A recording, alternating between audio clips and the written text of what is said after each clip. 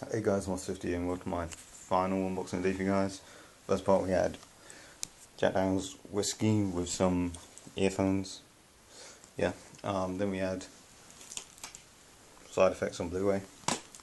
Then Prowl. Then the Weeder. Now I've got Silent Night. Which, I don't know, looks like it could be comically enjoyable. Or it could be shit because it takes itself too seriously. I don't know. But I don't know. God. I, hmm. What's that?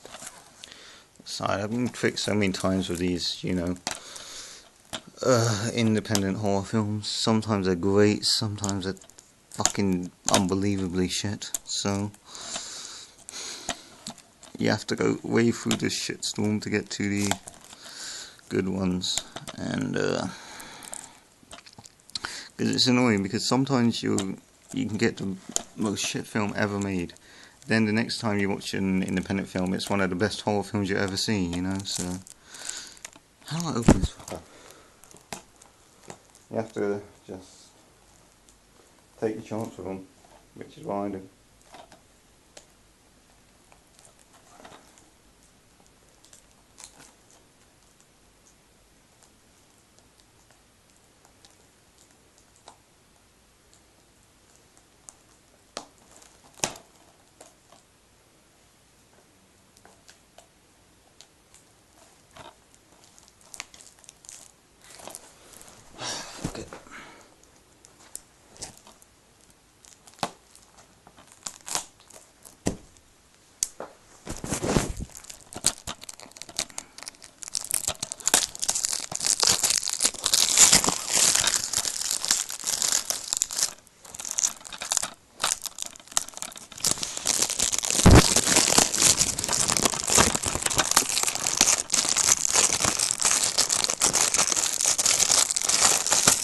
So, open it up.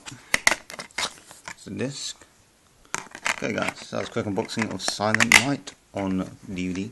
See you next unboxing. After this, that's Moss50 signing out.